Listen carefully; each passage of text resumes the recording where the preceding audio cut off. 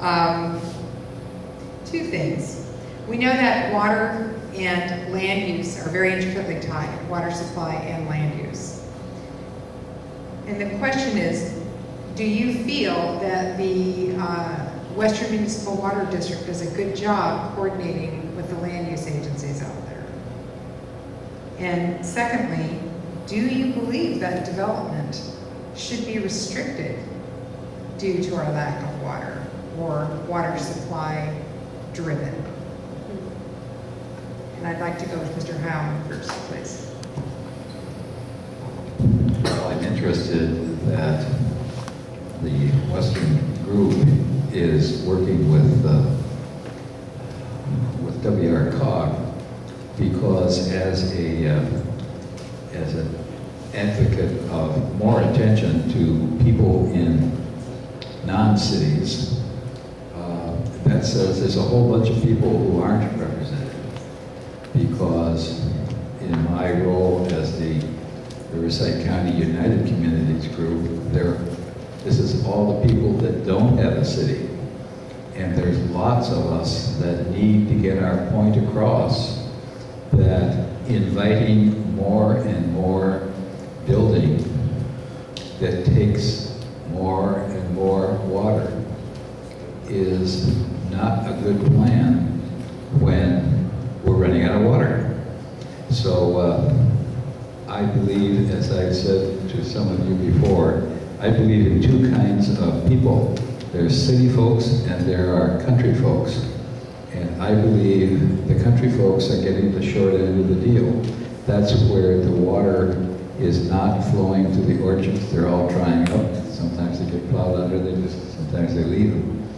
Uh, I believe it's a difficult, it, it, people who are city folks tend to think a certain way. Those of us in the country like to see the stars at night, for example. City folks don't even know there are stars in some cases. So it's a matter of attitude and, uh, and interest. So uh, I would like to see more work with Riverside County United Communities and little less work with WRCOG because then you have a balance across the population of the state. Thank you, Mr. Howard. Mr. Field, please. Thank you. The uh, first thing, are water and land use tied together, and should they be? I used to argue this issue a great deal with Lois Krieger, who was the first woman chairman of the Metropolitan Water District and uh, was the wife of the senior person in my law firm at the time.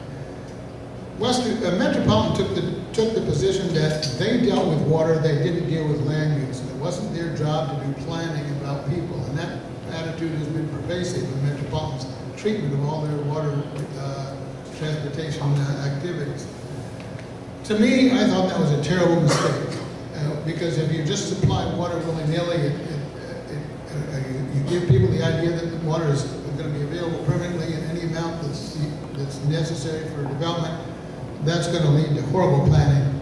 I still feel that way. I think that uh, we ought to have closer coordination with respect to uh, water availability, and we are now in a situation where we are asked for will serve letters for major developments. That is to say, we're asked if we'll commit that Western has sufficient water to, to uh, supply whatever development or business entity they're talking about. Um, there are legal ramifications from saying no, and ramifications of enormous consequence for the business community. We are getting to the point, however, and I think it's is Eastern has already at one on one occasion taken a position they would not issue a will serve. Maybe it was Elsinore. It was one of the local districts. Um, all of us are being mindful of the fact that we can't keep giving out these well served letters. So I agree that we should be very mindful. Do we coordinate well? Yes. The business community works very well with us. We, we coordinate well with other water districts. We meet, uh, Tom and I meet uh, every other month with Riverside.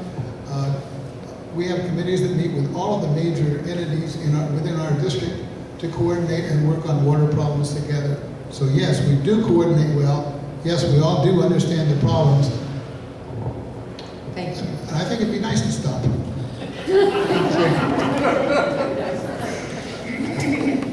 Mr. Evans, please. Thank you. We tend to talk in jargon sometimes. RCOG stands for the Western Riverside Council of Governments, includes the county. Two members of the Board of Supervisors are on there, so it actually does include everybody in the, in Western Riverside County. Um, and um, through RCOG and through the county, we developed the first water, uh, water use efficiency ordinance that was passed by first the county of Riverside to develop uh, and expect more efficient use of water in, in new developments. Through that process, working with the cities, the cities have developed, have adopted or modified ordinances they might have already had, including the city of Riverside. So it was a very effective method of, of commu- communication and, and sort of clarifying this particular, uh, particular issue. Um, kind of tag, tag on what Charlie said about the uh, well-served letters. We, we, by state law, you have to issue what's called a water supply assessment, which says you can supply enough water for that development for 20 years and not take water away from anybody else. In the process of issuing those, we require the developer to come back to us and say, what are you doing to reduce water? In the newest development we've had recently, the March Life Care uh, campus, or which, whatever term you want to use, the new development, hospital development at uh, March Joint Powers Authority, they're using reclaimed water, they're using uh, more efficient uh, um, appliances in, interior and exterior, so they could use a very small amount of drinking water for that development. And so by working with these ordinances and being sure that everybody's being efficient, you can in fact do both, accommodate growth and also make sure there's enough for the local residents. Thank you. Ms. Dennstedt.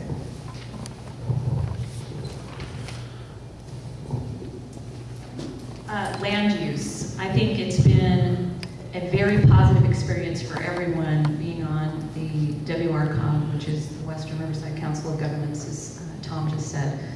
We have been able to work with all of the cities. The water agencies have come in and done very large presentations so that they understand the overall picture we bring to them, what information we're gathering from Sacramento, what's coming down the pike, what's happening in Metropolitan, which we are a member agency of, so that they can plan and look out into the future. Cities have a big problem with future planning. They tend to look at the near future, whereas water districts tend to plan out in the long run for very longer periods of times. Most of our projects take that amount of time in order to put into place and guarantee for their use at later dates. So we try to do a lot of anticipation and working with our cities is key to that. I myself have met with not only our other agencies who work with the cities, but I go and meet with city officials regularly and our city council members with Murrieta, Temecula, Elsinore, Canyon Lake, Wildomar, and we talk about what it means to them with projects coming down, what they can expect from us, how much reliability they can get, and what the future may hold so that they can do their appropriate planning.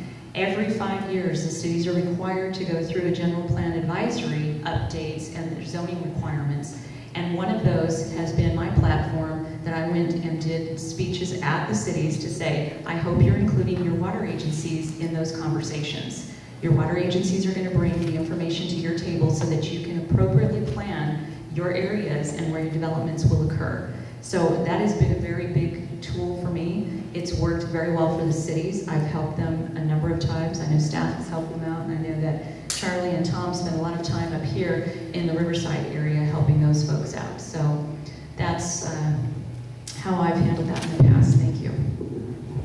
Thank you. Mr. Kenyon, please. Yes, um, land use. I'll be very, very honest with you, that's uh, not one of my top subjects.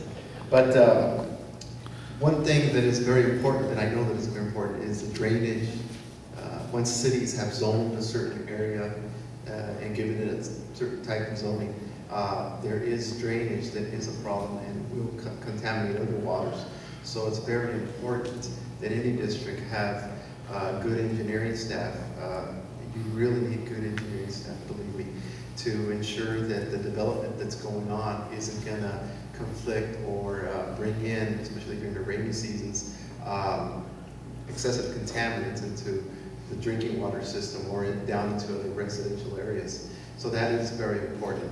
Also, what's very, very important is that uh, any agency within a, a city, uh, as us, with that we are, I think, two cities that are surrounding us, uh, two or three cities, uh, we have to ensure that we're working with, uh, with their staff members in a very, very cooperative type of environment to ensure that uh, we explain to them uh, the, the dangers, the problems that may occur. And, um, you know, I believe most of the time everybody works in a cooperative manner and says, yeah, you're right, maybe we need to uh, zone this differently so, so that things work out better.